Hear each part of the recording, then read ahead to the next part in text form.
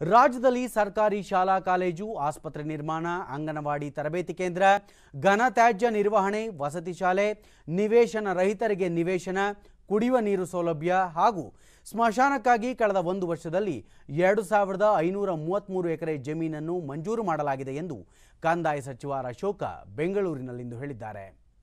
ಸ್ಥಳೀಯ ಶಾಸಕರು ಮತ್ತು ಸಂಸದರ ಬೇಡಿಕೆ ಆಧರಿಸಿ ಸಾರ್ವಜನಿಕ ಉಪಯೋಗದ ಕೆಲಸ ಕಾರ್ಯಗಳಿಗೆ ತಕ್ಷಣವೇ ಸರ್ಕಾರಿ ಜಮೀನನ್ನು ಮಂಜೂರು ಮಾಡಿದ್ದು, ಮುಂದಿನ ವರ್ಷ ಐದು ಸಾವಿರ ಎಕರೆ ಜಮೀನು ಮಂಜೂರು ಮಾಡುವ ಗುರಿ ಹೊಂದಲಾಗಿದೆ ಎಂದು ಅವರು ತಿಳಿಸಿದರು.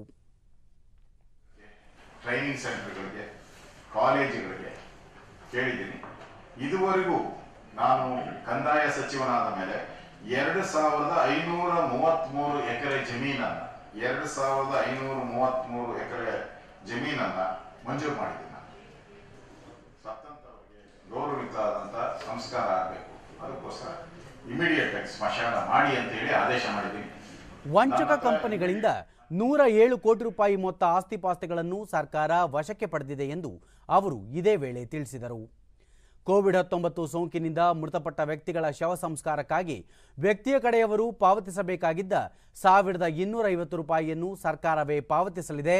ಶವ ಸಂಸ್ಕಾರಕ್ಕಾಗಿ ಬೆಂಗಳೂರು ಹೊರವಲಯದ ಉತ್ತರಹಳ್ಳಿ ಜಿಗಣಿ, ಸರ್ಜಾಪುರ, ಜಾಲ, ಮಾರೇನಹಳ್ಳಿ ಸೇರಿದಂತೆ ಹಲವು ಕಡೆ ಜಾಗ ಗುರುತಿಸಿದ್ದು ಸ್ಥಳೀಯರಿಂದ ಆಕ್ಷೇಪ ವ್ಯಕ್ತವಾಗುತ್ತಿದೆ. ಅವರ ಮನವೊಲಿಸುವ ಕೆಲಸ ನಡೆದಿದೆ ಎಂದು ಅವರು ತಿಳಿಸಿದರು. ಅದಕ್ಕೆ ಶವ ಸಂಸ್ಕಾರಕ್ಕೆ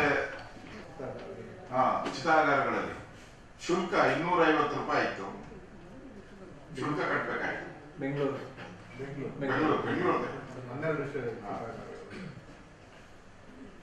ಆ ಇನ್ನೂರ ಐವತ್ತು ರೂಪಾಯಿನ ವಿನಾಯಿತಿ ನೀಡಿದೆ ಇಲ್ಲ. ಕೋವಿಡ್ ಸಂಬಂಧಪಟ್ಟವ್ರು ಮಾತ್ರ. ಇಲ್ಲ. ಬೆಂಗಳೂರು ದಕ್ಷಿಣ. ಉತ್ತರಳ್ಳಿ ಗುಡುಕ್ಮಲೆ ಹತ್ರ ನಾಲ್ಕು ಎಕರೆ. ಜಿಗಣಿ ಮೂರು ಎಕರೆ ಸರ್ಜಾಪುರ ನಾಲ್ಕು ಎಕರೆ ಜಾಲ. ಒಂದು ಕಾಲು ಎಕರೆ ಜಾಲ. ಅಂದ್ರೆ ಏರ್ಪೋರ್ಟ್ ರೋಡ್ ಒಂದು ಇಪ್ಪತ್ತು.